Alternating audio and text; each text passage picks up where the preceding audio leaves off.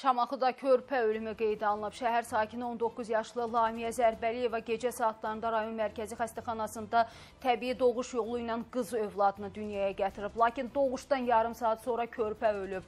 Qadının atası Qobustan rayon sakini Araz Rüstəmovun dediyinə görə Lamiyənin hamiləlik dövründə problemi olmayıb. Həkimlər də doğuşdan əvvəl ana və uşağın vəziyyətinin normal olduğunu, lakin doğuş zamanı qəflətən pisləşdiyini bildiriblər. Qeyd edək ki, bu Lamiyə Zərbəliyevanın ilk ilk hamiləliyi olub.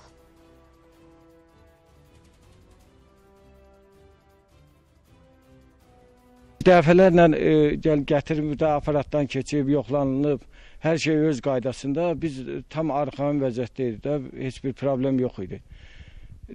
Hətta dünənləri günorta da gətirib bir yoxlayıb baxıblar, dedilər normaldır, ağrı olanda gətirərsin. Dedi kömək çağıraq burada, başqa həkim çağıraq, e, razılıq vermədi. Başqa həkimin çağırılışına razılıq vermədi.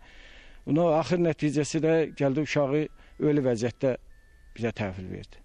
Zahirən elə bir patologiya hiss olunmadı. İkinci dövrə başlayanda doğumun güc vermələr, bunda ciftin aralanması müşahidə olundu və gür qanaxma ilə. Bu gür qanaxma ilə olanda bu döldən qan tikisinə görə dölün ürək döyməsi dəyişildi. E, lap ismək dərəcəsinə qədər dəyişildi. Kesar mümkün deyil idi, nə də olmazdı. O ölü uşaq çıxarda bilərdim mən kesarla və tez vakuum ekstraksiyadan uşağı çıxartdım, ancaq uşağı xilas etmək mümkün olmadı.